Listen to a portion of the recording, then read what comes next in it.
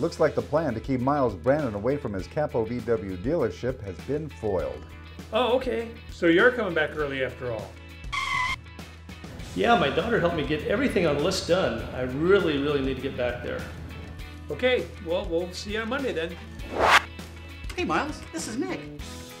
I guess we really underestimated your scavenger hunting skills.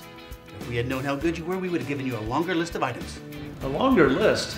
Well, I, uh, uh, What does Nick have up his sleeve to keep the Boss is Gone sale alive? Stay tuned to find out and visit capomazda.com to see all the special Boss is Gone offers, up to $6,000 off.